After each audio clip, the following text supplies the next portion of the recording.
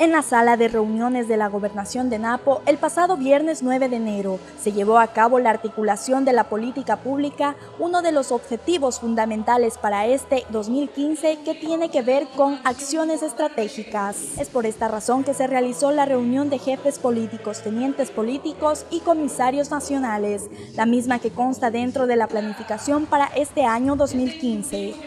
de justicia en la provincia eh, nuestra función como jueces, como juezas, significa que va a ser incrementada su personal.